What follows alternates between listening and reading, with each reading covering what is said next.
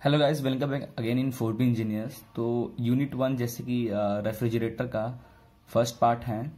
ठीक है first part में हम डिस्कस करेंगे introduction of refrigerator and air conditioning तो चलिए शुरू करते हैं। ओके okay गाइस तो चैप्टर का सबसे पहले हम इंट्रोडक्शन देखते हैं कि हम आगे क्या पढ़ने वाले हैं।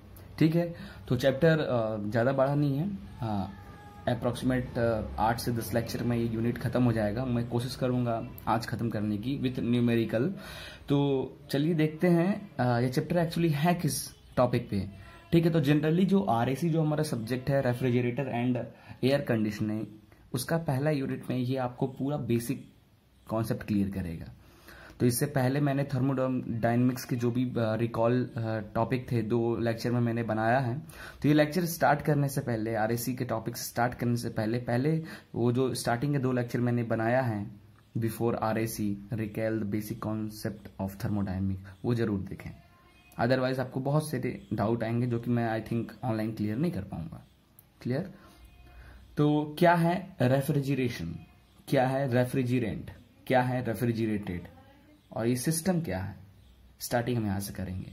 Clear refrigeration is the science of producing and maintaining temperature below that of surrounding atmosphere तो जो रेफ्रिजरेशन है फॉर एग्ज़ाम्पल आपका जो फ्रीज है, वो फ्रिज के अंदर का जो टेम्परेचर होता है, वो बाहर के एटमोस्फेयर टेम्परेचर से क्या होता है? हमेशा कम होता है। तो रेफ्रिजरेशन सिस्टम का काम क्या है? कि सिर्फ़ ठंडा नहीं करना ऑब्जेक्ट को सिर्फ़ ठंडा नहीं करना है, उसको उसी टेम्परेचर पे मेंटेन करके रखना है लंबे समय तक। ये होता है रेफ्रिजरेशन ना कि ठंडा करना है, वो तो एसी करता है। एयर कंडीशनर का काम है ये। क्लियर तो रेफ्रिजरेशन और एयर कंडीशनर में थोड़ा सा आप ध्यान दें, अंतर है। एसी का काम क्या है? वो कुछ देर के लिए रूम को क्या करता है? वो कूलेंट कूल इफ़ेक्ट प्रोड्यूस करता है बट रेफ्रिजरेटर क्या करता है? मेंटेन करता है एज वेल एज प्रोड्यूस भी करता है। ओके नाउ सेकेंड पॉइंट है हमारा। It means removing of heat from substance to be cold yes करता क्या है रेफ्रिजरेटर? जो भी आप फ़ूड अपने फ्रिज के अंदर रखे हो, उसका जो भी हीट है, उस हीट को रिमूव करता है। वो हीट को अपने अंदर लेके उसको बाहर एटमोस्फेयर में निकाल देता है। और ऐसा तब तक करता है जब तक एक पर्टिकुलर टेम्परेचर मेंटेन ना हो जाए पूरे फ्रिज में। ओके. और जैसे कि हमें पता है heat always passes down hill means from a warm body to a cooler one हमेशा हीट कैसे मूव करता है? हॉट बॉडी से कोल्ड बॉडी की ओर. Until both body are in same temperature जब तक दोनों बॉडी इक्विलिब्रियम ना हो जाए, तब तक वो क्या होगा? हीट हॉट बॉडी से कोल्ड बॉडी तक मूव होता रहेगा. जैसे आप अपने फ्रिज के अंदर क्या रखे हो? कोई एप्पल रखे, ठीक है? एप्पल को रखे ठंडा करने के लिए. मीन्स उसको स्टोर करने के लिए। आप फिर उसमें जो कूलेंट रेफ्रिजरेंट है, आपके फ्रिज का जो रेफ्रिजरेंट है, वो रेफ्रिजरेंट क्या करेगा? वो अंदर आएगा अपने फ्रिज के अंदर इन द गैसियस फॉर्म और वो ठंडा होगा। तो जब अपने एप्पल के सराउंडिंग में जब वो रोटेट करेगा तो एप्पल की सारी गर्मी वो अपने अंदर ट्रांसफ़र करेगा। तो वो जो ठंडा होगा, उसकी टेम्परेचर अगर टू डिग्री सेल्सियस होगी, उस फ्लूड की, वो फोर डिग्री सेल्सियस हो जाएगी। क्यों? क्योंकि उसने एप्पल से हीट ट्रांसफ़र कर लिया अपने अंदर और वो फिर बाहर निकल जाएगा। Okay refrigeration means the cooling और removal of heat from a system clear अगर कोई सिस्टम है तो उसके अंदर से उसको ठंडा मेंटेन करके रखना या फिर उसको ठंडा करना और उसके अंदर जो हीट है, उसको रिमूव करना। वो सिस्टम फॉर एग्ज़ाम्पल ये अगर मैंने ये गोला बना दिया तो ये एक सिस्टम हो गया। इसके अंदर जो भी हमने रखा है तो रेफ्रिजरेशन काम क्या है? उसको ठंडा करना, जो भी बॉडी हमने रखा है, या तो या फिर जो भी इसके सिस्टम के अंदर हीट है, उसको बाहर की ओर रिमूव करना। इस कॉल्ड रेफ्रिजरेशन प्रोसेस अगला पॉइंट हमारा कहता है the equipment employed to maintain the system at low temperature is termed as refrigerating system okay जो भी आप इक्विपमेंट यूज़ कर रहे हो, जो भी सिस्टम के अंदर वो टेम्परेचर मेंटेन करने के लिए लोअर टेम्परेचर मेंटेन करने के लिए जो इक्विपमेंट्स है, उसे हम लोग बोलते हैं रेफ्रिजरेटिंग सिस्टम और जो सिस्टम है which is kept at lower temperature is called refrigerated system clear refrigeration is generally produce in one of the following method तीन तरीके से हम रेफ्रिजरेशन प्रोड्यूस कर सकते हैं। कौन कौन सा है वो तीन तरीका? वो तीन तरीका है by melting of solid by sublimation of solid और बाय इवापोरेशन ऑफ़ लिक्विड कैसे? बाय मेल्टिंग ऑफ़ सॉलिड तो पुराने जमाने में हम कैसे ठंडा करते थे? या अभी भी जिस गाँव में या जिस शहर में अगर लाइन नहीं हो इलेक्ट्रिसिटी ना हो तो वहाँ जो कोल्ड ड्रिंक बेचते हैं, वो कैसे बेचते हैं? क्या करते हैं? वो अपने एक आइसोलेटेड डब्बा लेते हैं फोम का और उसके साइड में पूरा क्या बर्फ़ डाल देते हैं। ठीक है? और नमक डाल देते हैं ताकि बल्ब थोड़ा स्लो स्लो पी ले और उसके अंदर कोल्ड ड्रिंक्स का बोतल रखते हैं। तो मेल्टिंग जैसे जैसे वो धीरे धीरे मेल्ट होता है, धीरे, बहुत कम धीरे धीरे मेल्ट होगा वैसे वैसे उस बॉक्स के अंदर कूलिंग इफ़ेक्ट बनाते आता है। ओके सेम ऐसे ही हमारा by sublimation of solid by evaporation of liquid all things clear ना तो जो हमारा मैकेनिकल रेफ्रिजरेटर है, वो हमारे डिपेंड चार से उसके कंपोनेंट्स है। Mechanical refrigeration depends upon the evaporation of liquid refrigerant and its circuit okay तो मैकेनिकल जो हमारा जो फ्रीज है, या फिर आपका कोई कूलेंट स्टोरेज रूम है तो वो काम कैसे करता है? वो डिपेंड पूरा इवापोरेशन ऑफ़ लिक्विड पे काम करता है।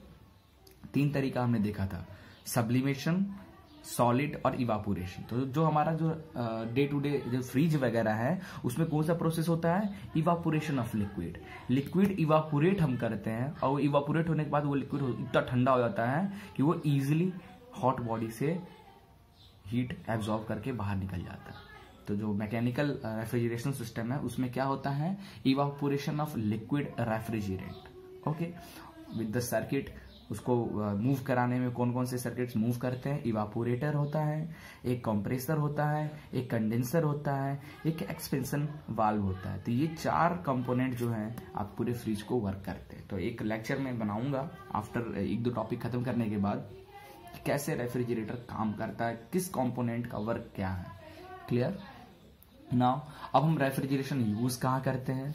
It is use for prevention of food manufacturing of ice को मैन्युफैक्चर करने में फ़ूड को प्रिवेंट करके रखने में सॉलिड कार्बन डाइऑक्साइड भी को मेंटेन करने में, और control of air temperature and humidity in the AC system clear now अगला है एप्लीकेशन ऑफ़ रेफ्रिजरेशन ठीक है? एप्लीकेशन ऑफ़ रेफ्रिजरेशन में। ओके नेक्स्ट नेक्स्ट क्या है हमारा? एप्लीकेशन ऑफ़ रेफ्रिजरेशन तो एप्लीकेशन ऑफ़ रेफ्रिजरेशन इसमें क्या होता है?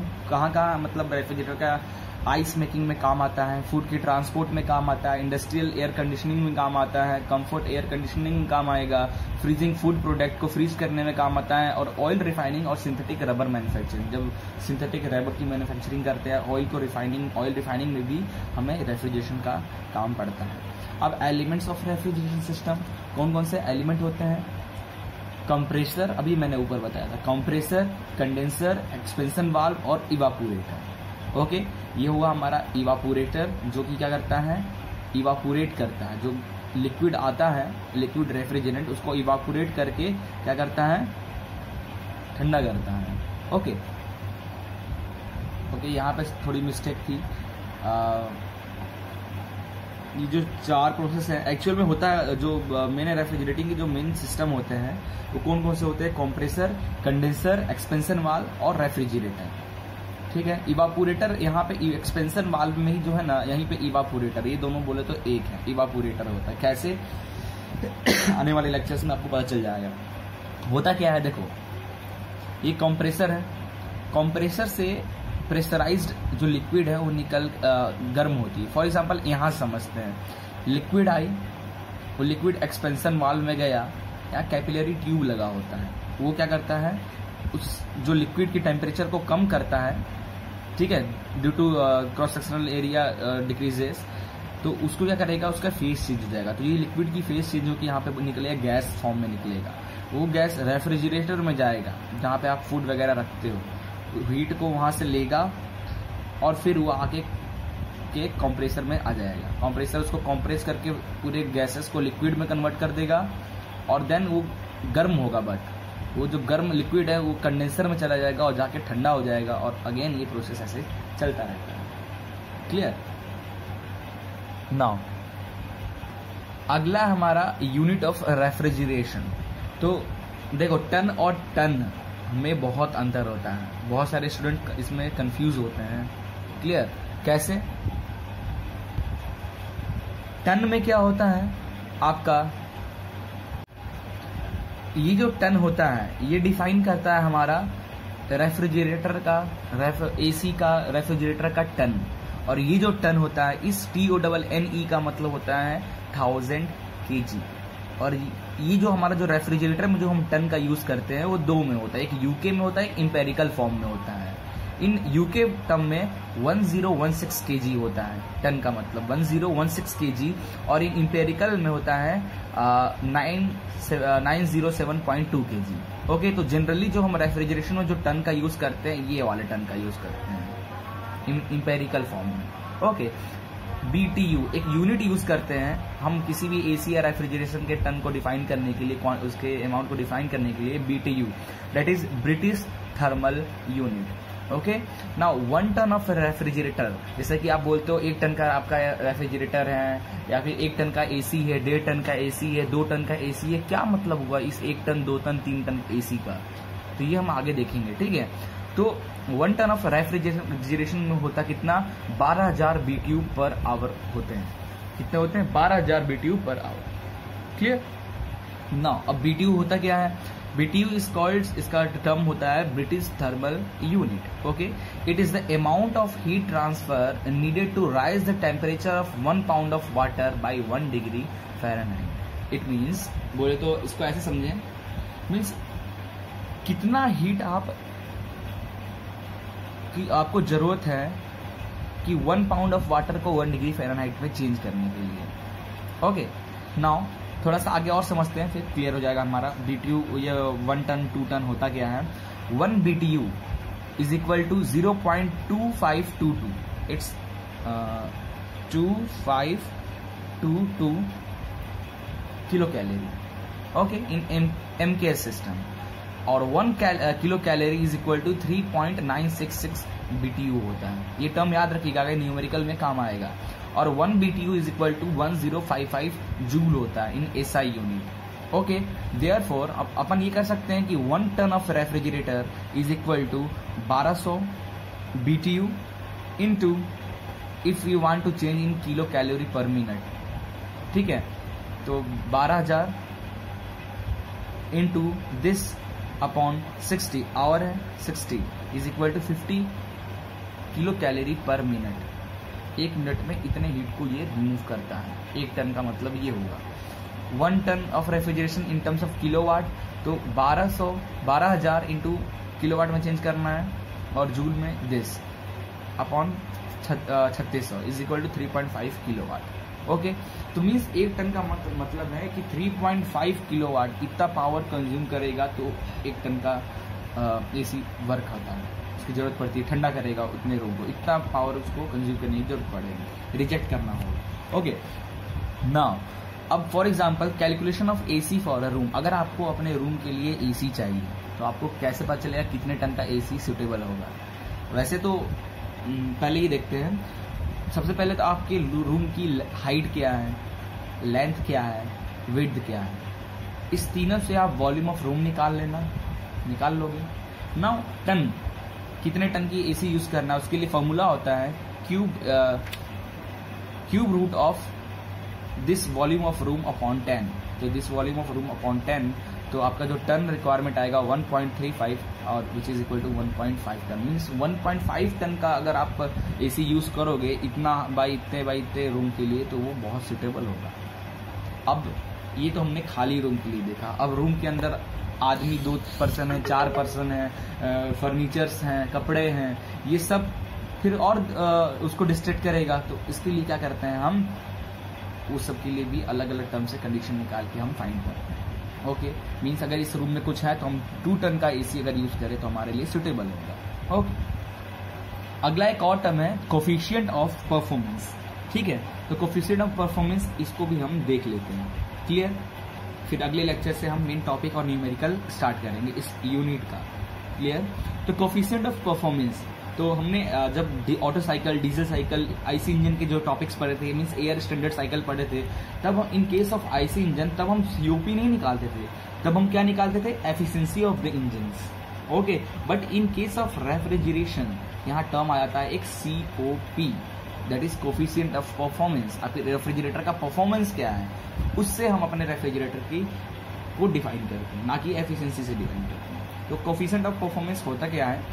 It is defined as the ratio of heat absorb by the refrigerant जो होता क्या है? देखो कंप्रेसर से ठंडा हुआ हीट ये जो लिक्विड कंप्रेसर से लिक्विड निकला तो वो काफ़ी गर्म है, क्योंकि अभी तक प्रोसेस से होकर आया है। ये कंडेंसर में गया फिन्स जो लगे, उससे ठंडा हो गया। ठंडा होने के बाद वो एक्सपेंशन में आएगा। एक्सपेंशन में जब आएगा तो वो लिक्विड गैसेस फॉर्म में चेंज हो जाएगा।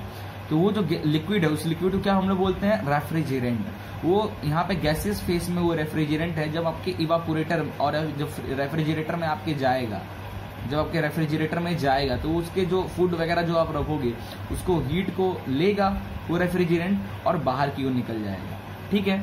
तो क्या हुई सीओपी जो रेफ्रिजरेंट है वो कितना हीट एब्जॉर्व किया ठीक है while passing through the evaporator to the work input कितना वर्क लगा? आपको वो लिक्विड यहाँ इसमें यहाँ से प्रोसेस लिक्विड को भेजने में उसको आप डिवाइड करोगे तो आपकी रेफ्रिजरेटर की सीओपी निकल आएगी।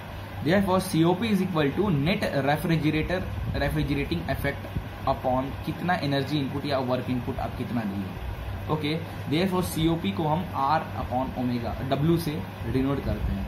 Okay where R is the net refrigerating effect और कितना हीट एब्जॉर्ब किया बॉडी ने हीट एब्जॉर्ब और ऐसे भी लिखते हैं. Heat absorb upon work done कितना वर्क हुआ इस सिस्टम में? तो वर्क इज़ इक्वल टू क्या होता है? Heat absorb minus heat reject ये भी होता है. और इसको हम ऐसे भी लिख सकते हैं. ये होता है सीओपी का फॉर्मूला ओके ना अब रिलेटिव सीओपी जब पूछेगा what is the relative COP of the system तो रिलेटिव सीओपी कैलकुलेट करने के लिए एक्चुअल सीओपी क्या है? ये, फॉर्मूले से जो आप सिस्टम से कैलकुलेट करके निकालोगे. और in case of theoretical means actual में आपको जब चेक करके करोगे तो क्या आ रहा है? और with the help of formula क्या आ रहा है? उन दोनों को जब डिवाइड करोगे तो आपको रिलेटिव सीओपी मीन्स एक्चुअल और थियोरिटिकल का relation in case of COP निकल okay now actual COP means ratio of the value of ratio of heat absorb और work done actual measure during test testing जब आप बना लोगे अपना refrigerator फिर टेस्ट करोगे उसको तो उससे जो आपको वैल्यू आएगी, आपकी कितनी हीट एब्जॉर्ब हो रही है और कितना वर्क डन में, वो अपॉन थियोरिटिकल वैल्यू जो आपकी फॉर्मूला से कैलकुलेट करते हैं। उनको डिवाइड कर दोगे तो आपका रिलेटिव निकल जाएगा। क्लियर तो ये था हमारा फ़र्स्ट पार्ट सेकेंड पार्ट में हम एयर रेफ्रिजरेटर वर्किंग कैसे करता है? ठीक है? वो हम देखेंगे। Clear thank you